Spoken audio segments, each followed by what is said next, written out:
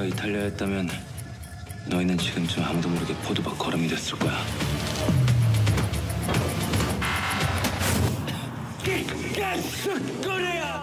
밀라노 수제 양복장인 브랄로가 만든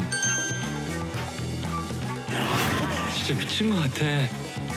오직 선배 걱정만 하는 거죠. 제 경험상 다른 이유가 있는 거죠. 이렇게 오버하게 할 만한 무언가. 도대체 왜 이렇게까지 무모한 겁니까? 그게 내 운명이니까. 네 모가지 꺾는 거는 손가락에 힘도 안 들어가니까 난 반드시 이 건물을 되찾을 거고 니들 모두 대가를 치르게 할 거야.